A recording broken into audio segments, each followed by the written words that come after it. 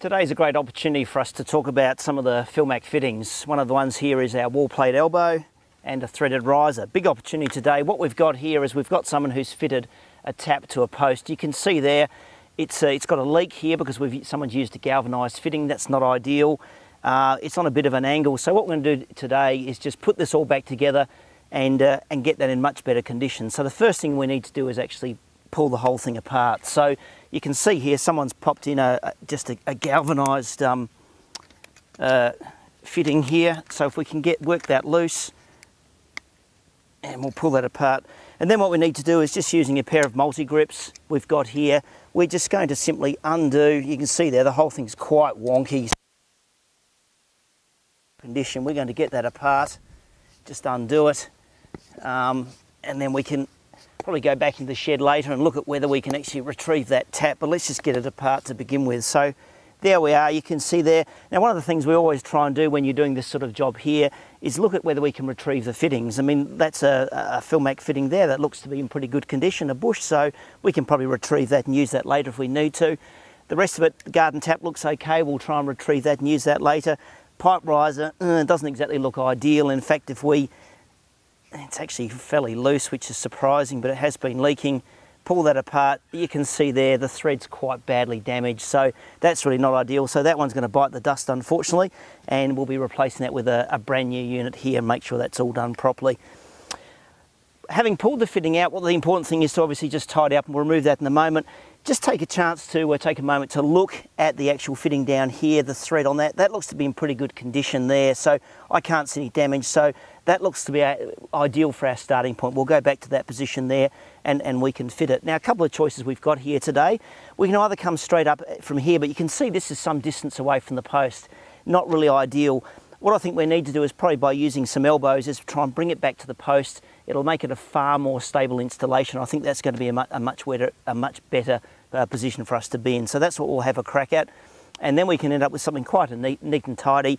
And of course, also getting rid of that galvanised elbow, which is always going to be a leaker in, in the future. And we can see in there quite a bit of rust. So that, that one's going to bite the, bite the dust and we'll get something uh, in uh, a quality Philmac threaded fitting and fix all that up. You look at the, uh, the previous installation, we had that pipe riser on quite an angle, really wasn't ideal. So what we've done is make up ourselves a little bit of a, uh, a fitting here, or a number of fittings, just to, to move the pipe riser over closer to that post. So uh, we used a nipple, um, a female elbow, uh, we've reused the bush that we had earlier, so we've made reuse of that, and we've got an MF elbow in there. If I had an MF elbow, we probably would have used that, but again, it depends on what you've got available, what the dealer might have. This will still do the job. Uh, I've already uh, put, applied some thread tape to this uh, nipple here, and we'll just get this installed, and I'll show you in a moment how to apply thread tape. It's not all that difficult, um, but let's just, uh, let's just tighten this up. You can feel there, that's, uh, well I can feel it's just binding up nicely. We'll take it to that, about that point there. That should do just for a moment. Okay, thread tape itself.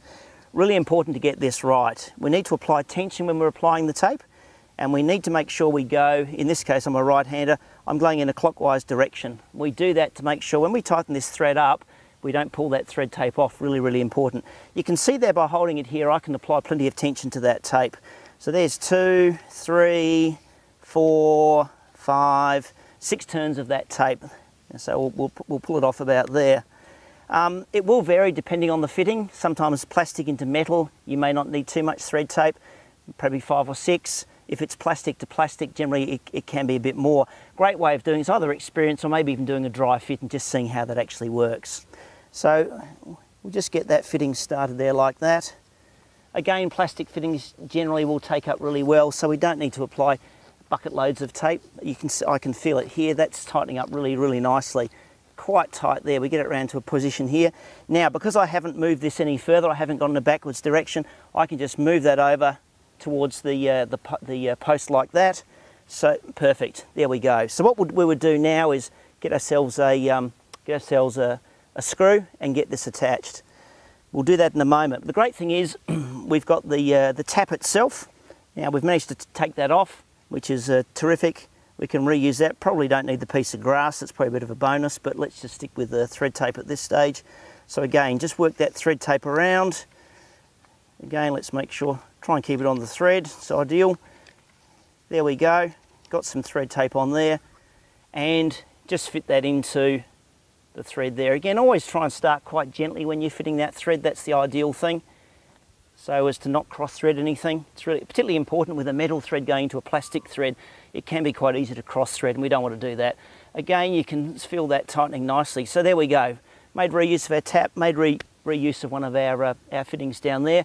We'll just get that uh, attached to the post there. But we can see there we've moved it nicely and close to the post. A little bit more protection. More importantly, we got rid of that nasty elbow that was in there, that galv elbow that was leaking.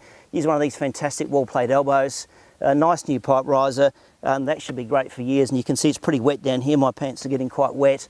Um, but we've stopped all that leaking. So from a from an end user point of view, this one is all, all good, ready to go.